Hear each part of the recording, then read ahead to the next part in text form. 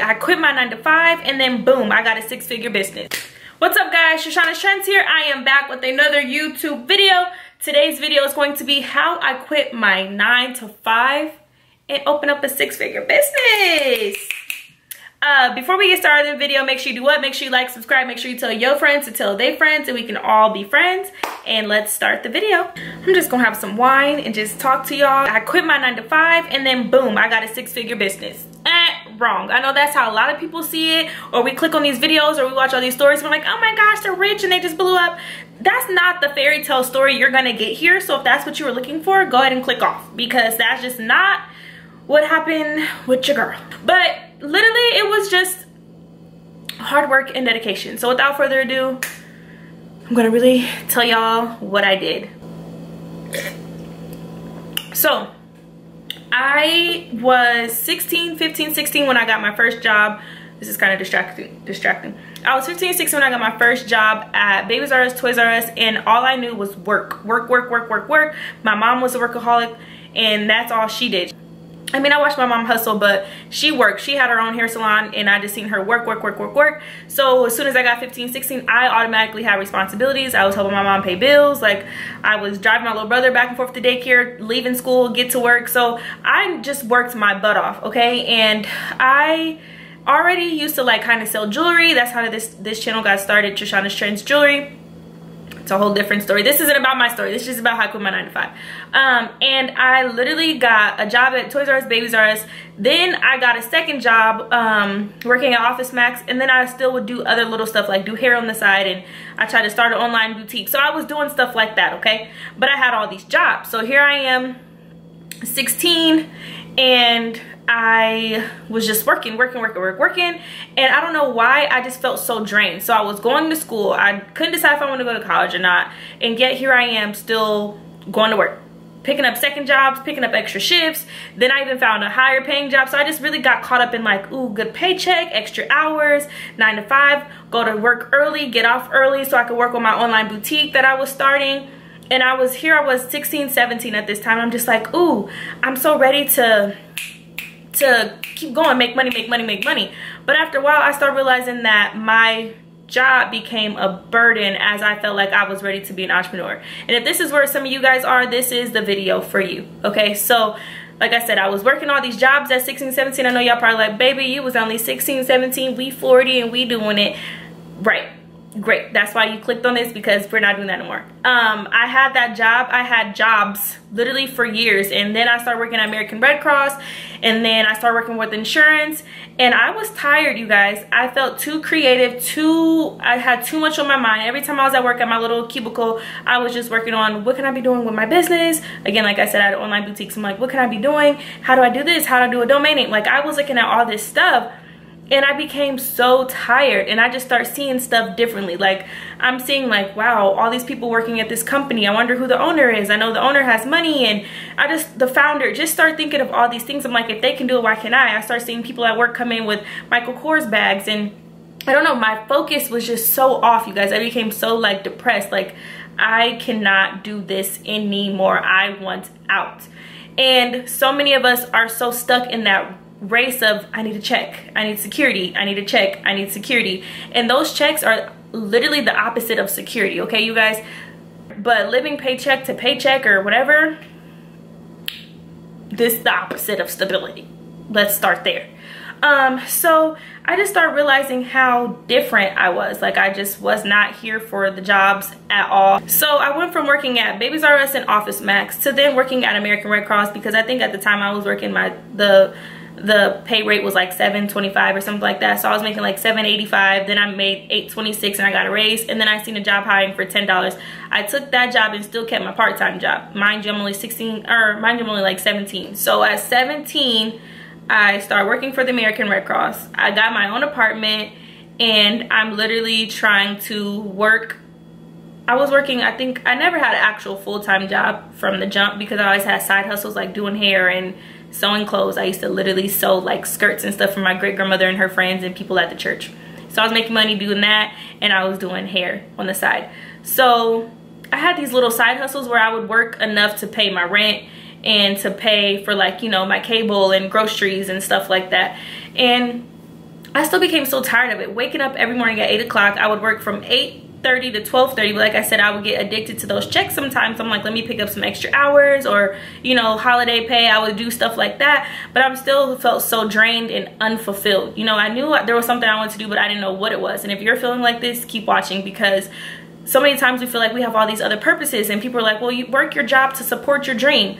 But that is the furthest from the truth you guys. Once we crack that habit of i need a paycheck i need a paycheck i need a paycheck literally it's like hypnotizing like i need a paycheck i need a paycheck i need a paycheck. No. There's so many people who don't even have kids who are working to pay rent pay their car note pay their phone bill buy food for their dog. Like if you don't even have kids what are you working for? There's so many um, cultures who keep their kids in their house so they graduate college. That take that's like a five to seven year thing. Why can't we be the same way? So literally, if you don't even have responsibilities, what are you working for? Just to keep making more bills for yourself? Like that type of stuff is like a mindset. So I quit my first job and moved on to my second job with insurance. And I didn't know anything about insurance. I played the system. I talk my I could talk my way into any job. I could talk my way literally. That's how sharp I am. I could talk my way through any job and I got the job with insurance. On the on the application it said you had to have a um, degree. I never went to college. I never stepped foot into college. Never will.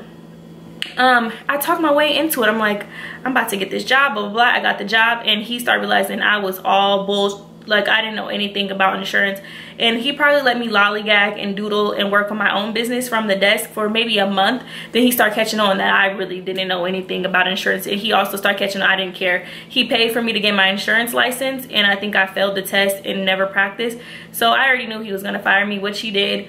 Um, I just wanted to collect another $700 check which he didn't give me. He gave me like half of it of severance pay and I was crying. I was like going like, mom, my rent is due. What am I gonna do? And I literally, it was so dramatic, you guys. It was raining outside. I put on my um, flats. I put on this one outfit I used for every interview because I felt like it was my good luck outfit. These plaid flats. They're gray with red and black stripes, these black slacks, a white button up with a red cardigan. That was my interview outfit, you guys. Every time I went to a job interview, that's what I wore and I always got the job.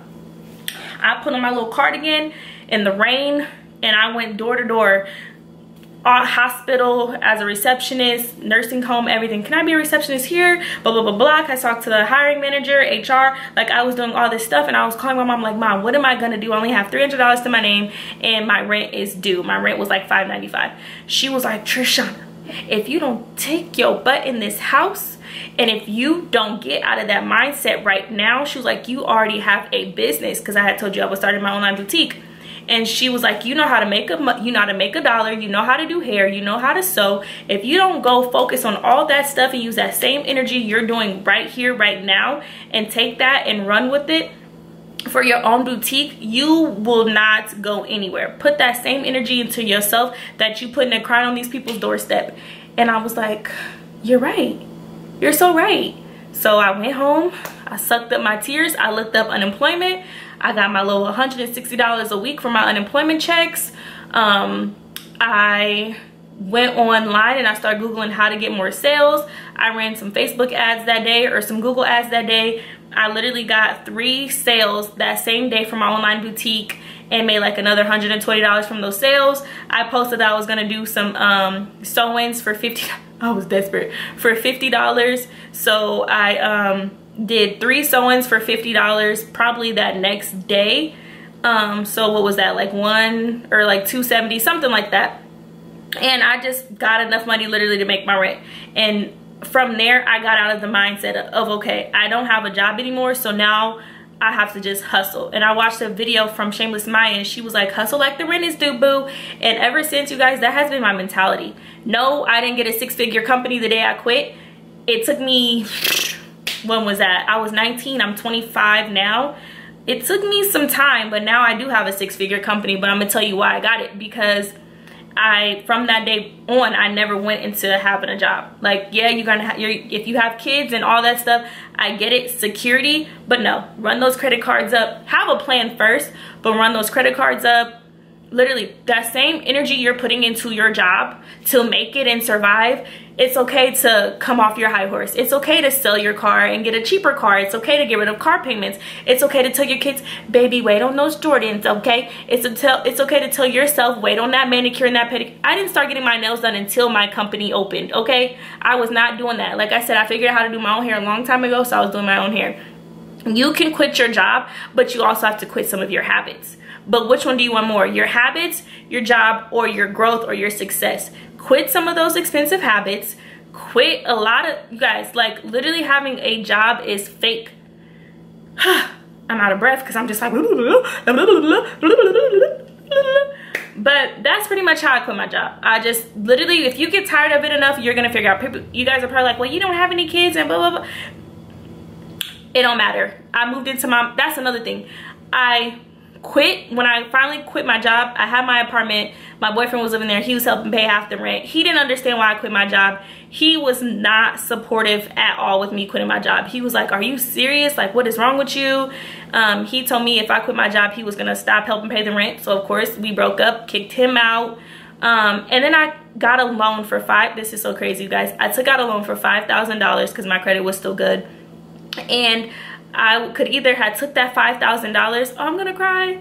I could have took that $5,000 and paid my rent to stay in that apartment. I didn't think I was gonna cry.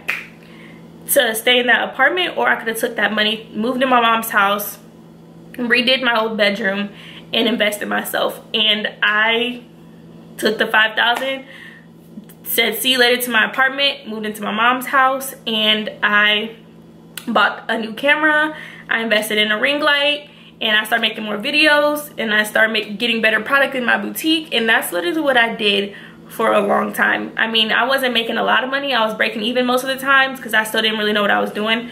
Um, but it was allowing me to travel. And as I was traveling I was networking and putting myself in the right places to meet the right people. And I started seeing what they did. And when I was traveling is when I tried rolled ice cream. And here I am later with Mixin's rolled ice cream shop. So and now it's a six figure company. We hit six, six figures in 60 days.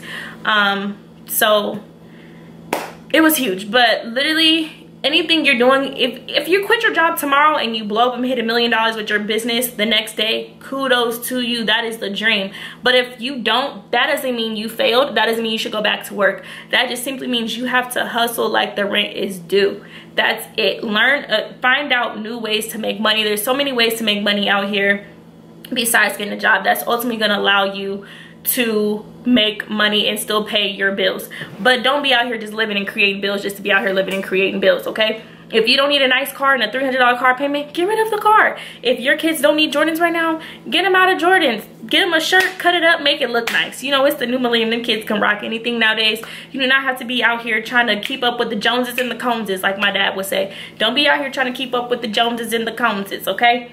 So if you want to know if you should quit your job quit your job. If you want your job to support your business, quit your job. The more time that time is more valuable than money okay? You need the time to put into your business not the other way around. Put that time into your business find an investor all that stuff. The time that you have you're you're slowing yourself down working at a job and trying to come home and give yourself 30% into your business. It's not worth it. My voice is gone because i'm up here crying and carrying on being a crybaby. I'm a big crybaby but it's not worth it. So quit your job. Your kids will understand. If you got kids and you can still move in your mama house move back in your mama house. So that's pretty much my story. Like i said you don't need anything in this life that you have. You don't need your job. You don't need your car. You don't need the material things right now. You just need yourself believe in yourself your focus your drive and to just have a dream and a goal and you go for it. That's when you are ready to quit your job and that's how you can quit your job. When you are ready to really kill that mindset of a paycheck checks in rotation i need to keep up with my bills no you're creating bills. You don't need to keep up with them you need to stop creating them.